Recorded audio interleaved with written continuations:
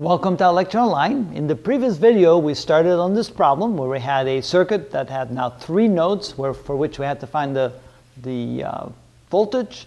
We had three currents plus the one that was defined as I sub x, which was also uh, a source for the dependent current source right here that's equal to 2 times I sub x. Eventually, when we applied all the methodologies doing nodal analysis, we came up with these three equations for the three voltages, which we can write in this matrix format. So now we've achieved step number seven.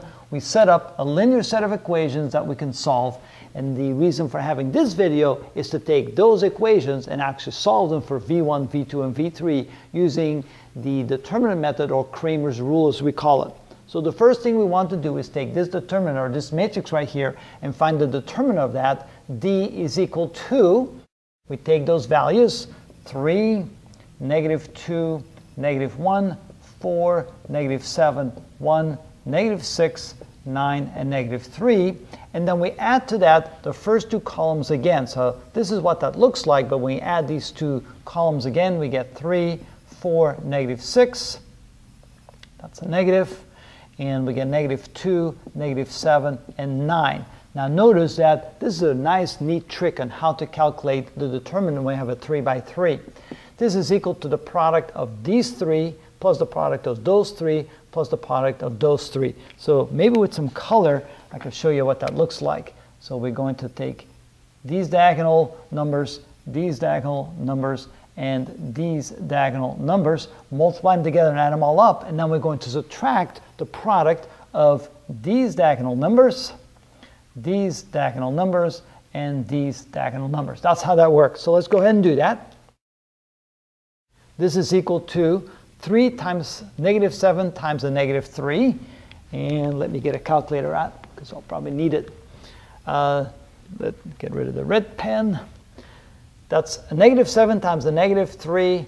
That's positive. So 3 times 3 is 9 times 7 is 63. That's a positive 63.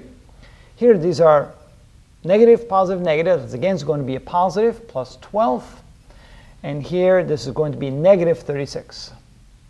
And subtract from that, we multiply these three diagonal rows, we get minus, minus, minus, that's a negative. The negative is already taken care of because we're subtracting the products here.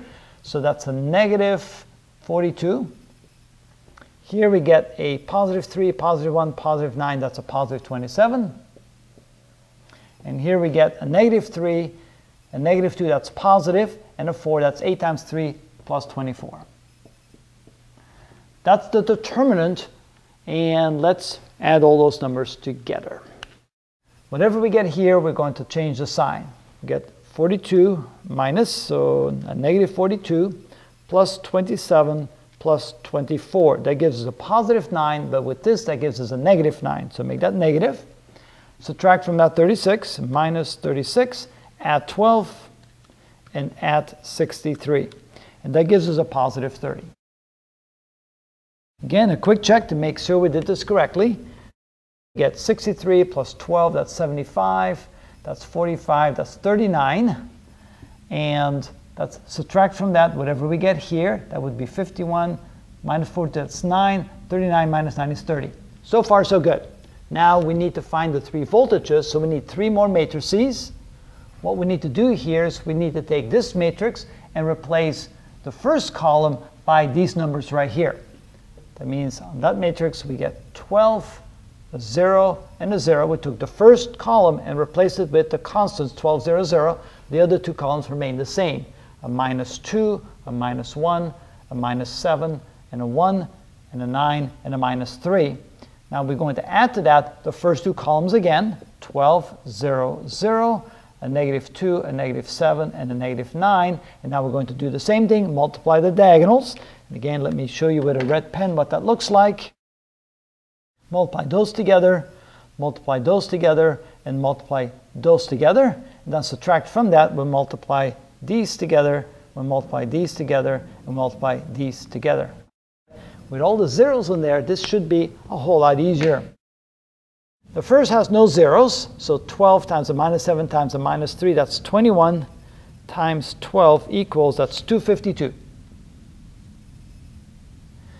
The next diagonal row has a 0 in it, and the next diagonal row has a 0. So plus 0 plus 0 minus.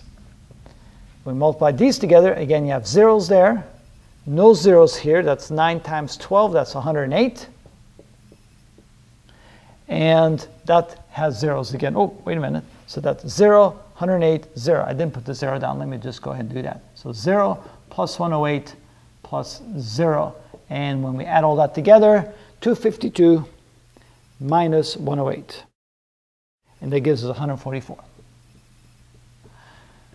For the second voltage, what I need to do now is I need to replace the second column by the constants. I get 3, 4, negative 6. Instead of negative 2, negative 7, 9, I get 12, 0, and 0. And I still get the minus 1, positive 1, and negative 3. What I do now is I repeat these two columns over here, 3, 4, negative 6, 12, 0, 0. And just like I did before, I'm going to multiply these diagonal rows and then subtract when I multiply these diagonal rows like that. And it helps to draw little crosses. You can visually see what you're dealing with. So multiplying this together, I have a 0. Here I multiply 12 times a minus 6, that is a minus 72. Uh, might as well put the 0 down. So 0 minus 72, and here I get a 0. Subtract from that, when I multiply these diagonals, I get a 0. And here I get a 0. That was plus 0. And here when I multiply those together, I get a minus times 12 times 12. That's a minus 144. Notice a minus times a minus gives me plus. Minus 72 is a plus 72. And now for the last matrix, so find V3. And now we'll replace this column by those numbers right there. I repeat the 3, the 4, and the negative 6. I have a negative 2, a negative 7, and a positive 9. And instead of nine, negative 1, 1, and negative 3, I write 12, 0, and 0. And again, like before, I repeat the first two columns, 3, 4, negative 6, negative 2, negative 7, and 9. And then with a different color, we're going to multiply these diagonal rows like so, and then subtract when we multiply these diagonal rows like that. When we do, we get the following. This gives me 0, because there's 0 in there. This gives me 0. And finally, the last one, that's 4 times 9 is 36 times 12, that's 360. Well, let me see here. Make sure I don't make a mistake. 36 times 12 gives me 432.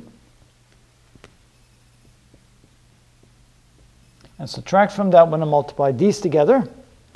I get 42 times 12, that's 420. Well, again, let me uh, make sure I don't make a mistake there. That's 42 times 12. I give 504.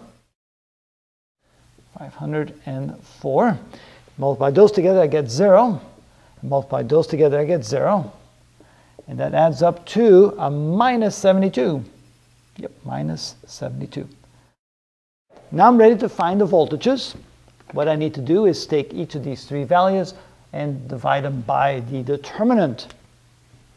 To find voltage 1, that is equal to this matrix divided by the determinant, which is equal to 144 divided by 30, which is equal to 144 divided by 30. That gives me exactly 4.8, 4.8 volts. Then V2 can be found by taking the set, second matrix divided by the determinant, a positive 72 divided by 30, which is ex exactly half as much. And finally, V3 is equal to the third matrix divided by the determinant, which is equal to a minus 72 divided by 30, which is a minus 2.4 volts. So now I have all three voltages for the three nodes. Now I'm ready to find the currents. Because of definitions, I can say that I1 is equal to V1 minus V3 divided by 4 V1 is 4.8 volts. minus V3, which is a minus 2.4, divided by 4, which is 7.2, 3.6, that would be 1.8 amps. I2 is equal to V2 minus V3 divided by 8. V2 is 2.4 volts. Subtract from that a negative 2.4 divided by 8. That gives me 4.8 divided by 8. That is 0.6 amps. I3, V2 divided by 4. V2 is 2.4 volts.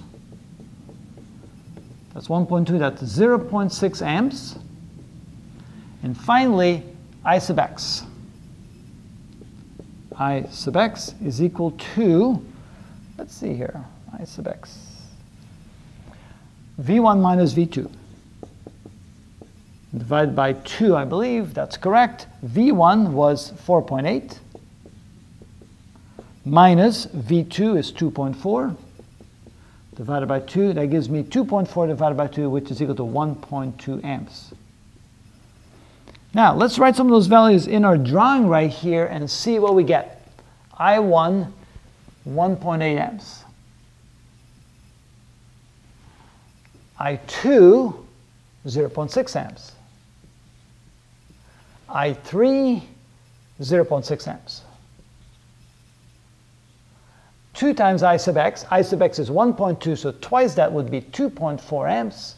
And here, 1 I sub x, that's equal to 1.2 amps. And let's see if we did this correctly. 3 amps coming this way, 1.2 plus 1.8 adds up to 3, that's correct. 1.2 coming this way, 0.6, 0.6, that adds up to 1.2. And here we have 1.8 plus 0.6 adds up to 2.4, and 2.4 plus 0.6 adds up to 3, and it looks like we have all the correct voltages and all the correct currents. And that's how we do a problem like that.